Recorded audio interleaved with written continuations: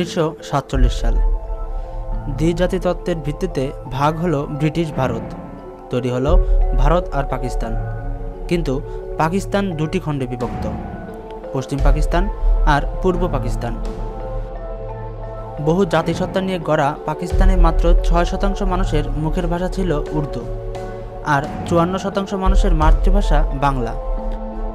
কিন্তু তারপরেও উনিশশো আটচল্লিশ সালে রেসকোর্স ময়দানে মোহাম্মদ আলী জিন্না ঘোষণা দেন, উর্দুই হবে পাকিস্তানের একমাত্র রাষ্ট্রভাষা। এতে ক্ষোভে ফেটে পড়ে পূর্ব পাকিস্তানের সাধারণ জনগণ। বাংলা ভাষার সমমর্যাদার দাবিতে উত্তাল হয়ে ওঠে পূর্ব বাংলার রাজপথ। বিশ ফেব্রুয়ারি উনিশশো সাল। আন্দোলন দমাতে একশো দ্বারা জারি করে পুলিশ। নিষিদ্ধ ঘোষণা করা হয় ঢাকা শহরে সকল প্রকার সমাবেশ ও মিছিল। গ্রেপ্তার করা হয় একের পর এক ছাত্রনেতাকে। উনিশশো সালের একুশে ফেব্রুয়ারি। সকাল থেকেই ছাত্র এসে সমাবেত হতে থাকে ঢাকা বিশ্ববিদ্যালয় প্রাঙ্গণে। আর ভাষার দাবিতে স্লোগান দিতে থাকে। কিছুক্ষণের মধ্যেই ছাত্ররা একশো চুয়াল্লিশ ধারা ভেঙে রাষ্ট্রভাষা বাংলার দাবি নিয়ে পূর্ব বাংলার আইন পরিষদের দিকে রওনা হয়। হঠাৎ গুলিবর্ষণ শুরু করে পুলিশ। ঘটনাস্থলে শহীদ হল বরকত, রফিকুদ্দিন আহমেদ। এবং আব্দুল জব্বার। হাসপাতালে মারা যান আব্দুল সালাম। ওহিউল্লাহ নামে নয় বছরের এক শিশুও শহীদ হয় পুলিশের গুলিতে।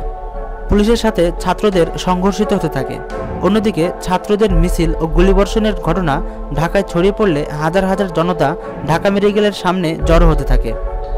টলে ওঠে পাকিস্তানের কেন্দ্রীয় সরকার। জনরস গণ আন্দোলনের মুখে উনিশশো সালে সংবিধানে বাংলা ভাষাকে পাকিস্তানের অন্যতম রাষ্ট্রভাষা হিসেবে স্বীকৃতি দিতে বাধ্য হয় তারা।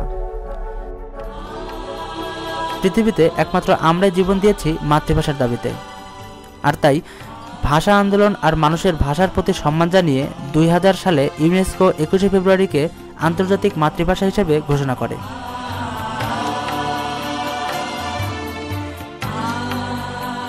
সালাম, বরকত, রফিক, জব্বার, শফিউল, আরও অনেক নাম না জানা তরুণ প্রাণের বিনিময়ে আমরা পেয়েছি বাংলা ভাষা। বাংলায় মা বলে ডাকার অধিকার।